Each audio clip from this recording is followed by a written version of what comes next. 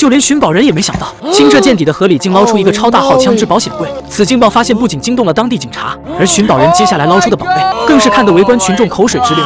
据小道消息，价值千万的珠宝被抢劫犯丢进了这条河里，但警方至今没有找到丢失的物品。小马便想过来碰碰运气，没想到第一钩下去只找到一个自行车零件。但奇怪的是，这看起来像是被人切割过。更刺激的来了，队友竟然吸上来一个小枪盒，可惜枪已经不在里面。但这一发现无疑是给众人打了鸡血。这条河里的宝贝绝不简单。紧接着又从河里捞出一个超大物件，仔细一看竟是床的框架。难不成哪个倒霉蛋被连人带床丢进河里了？还没来得及多想，下一秒同伴捞上来的宝贝直接让小马毛骨悚然，居然是一把大砍刀，而且成色看起来很新。此处难道是凶案现场？小马不禁有点担心，他刚想撤退，不料队友这边又有了重大发现，这次竟是一个超大号的枪支保险柜。三个人用尽全身力气才把它拖上岸，可惜里面的枪支已经不见踪影，想必是还藏在河里某个角落。紧接着，另一名队友也发现了一把匕首，看起来异常锋利，而这个奇怪的珠宝链子就连小马都没见过，难不成是有什么特殊用途？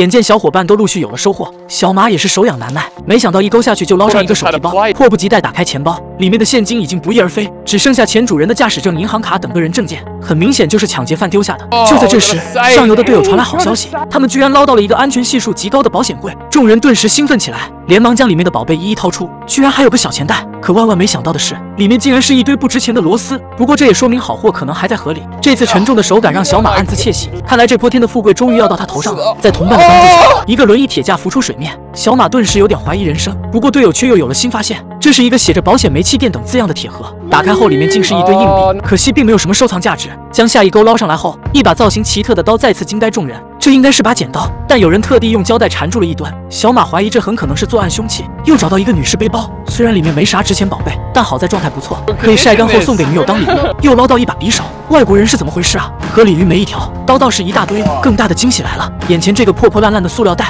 直接让小马原地蹦起两米。塑料袋里居然装满了珠宝，单是这个卡地亚手镯就能价值一万美元，不少耳环上还镶嵌了宝石。难不成这就是被盗窃的珠宝？